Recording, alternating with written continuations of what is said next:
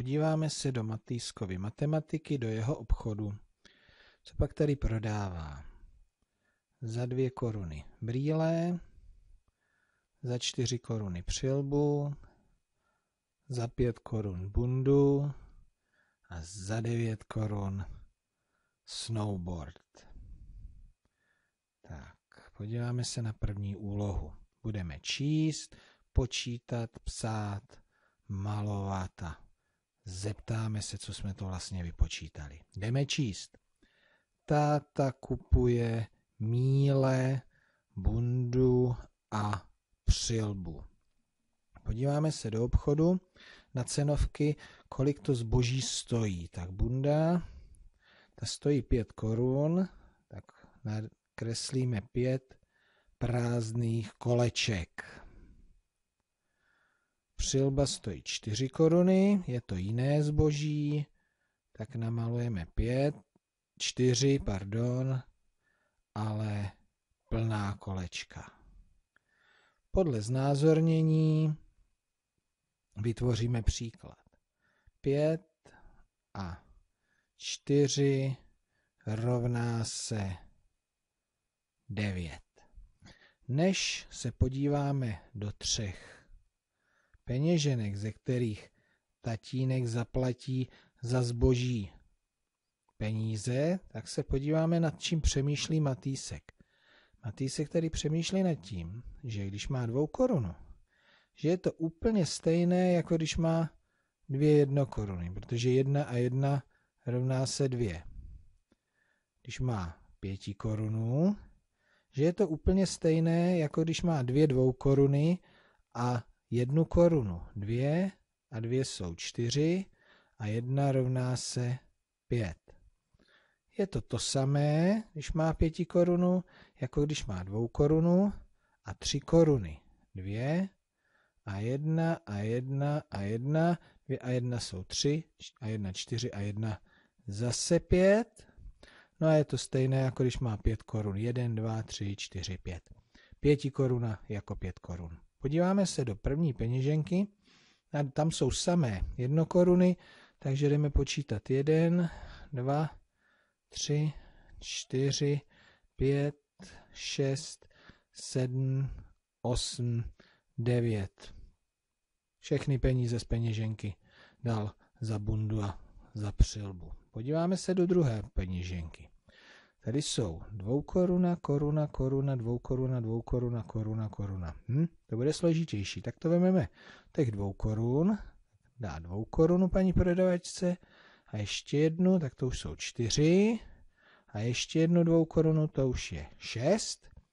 A teďka koruny sedm, osm, devět. Zaplatil 9 korun, v peněžence mu tady ještě jedna koruna zbyla. No a v té poslední, tady má 5 korunů, dá paní prodavačce 5 korunů, ještě 2 korunu, tak to už je 7, no a do 9, no ještě 2 korunů ji bude muset dát. Tak, tatínek zaplatil 9 korun za mílinu bundu a přilbu. Podíváme se na další úlohu. Tady je napsáno Moje teta kupuje ele, přilbu a brýle. Nejsou tady cenovky. Musím se podívat do obchodu, kolik stojí přilba a brýle. Takže přilba stojí 4 koruny, bych to nezapomněl, jak si to tady napíšu a brýle stojí dvě koruny. Tak si to tady taky takhle napíšu. Tak, znázorním. Čtyři prázdná kolečka za přilbu a dvě plná kolečka za brýle. Kolik ta moje teta vlastně zaplatí? No, to jsem zvědavý. Čtyři a 2 rovná se 6. No a jdeme s tetou k pokladně. První peněženka. Samé koruny, tak to bude jednoduché.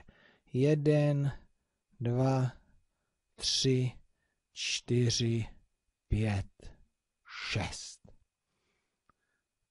Druhá peněženka.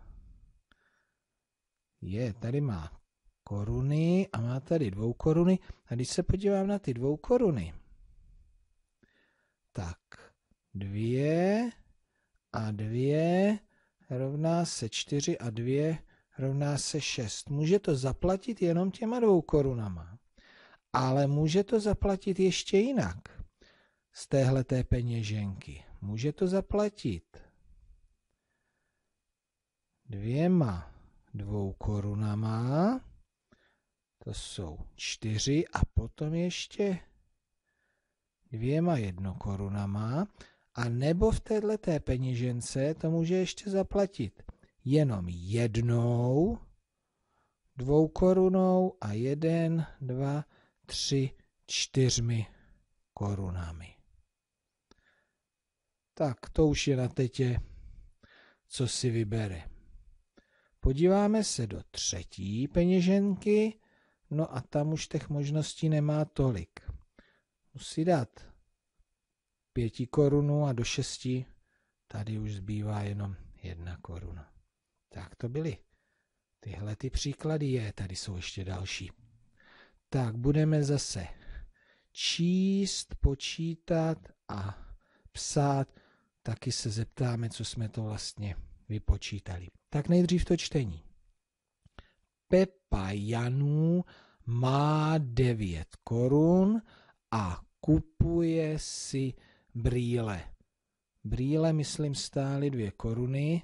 Ano, brýle stály dvě koruny, nezapomněl jsem to, ale napíšu si to tady přece jenom. Pepa Janů má 9 korun.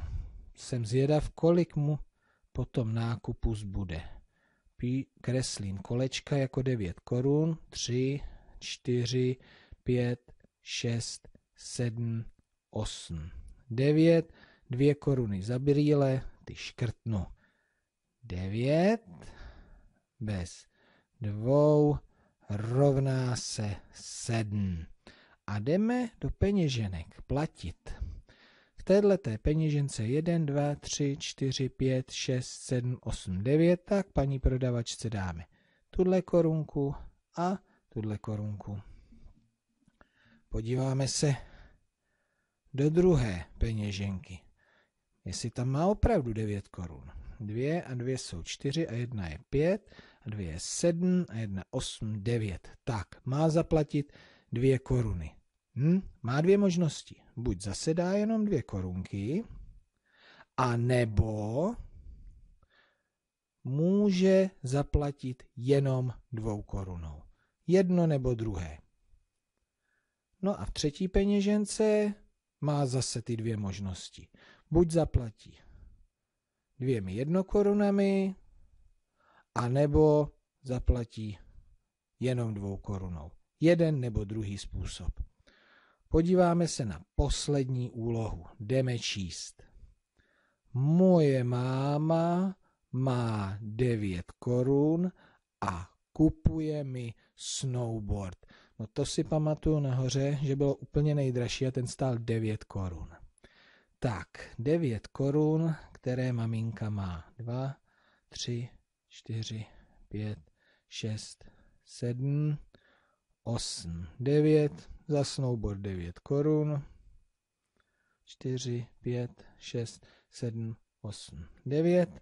Příklad 9 bez 9 korun rovná se 0. No, tak toto teda vyprázdní maminčinu peněženku. Jdeme se podívat. 1, 2, 3, 4, 5, 6, 7, 8, 9. Jedno korun, všechno. Musí mě tam zbýt ta nula.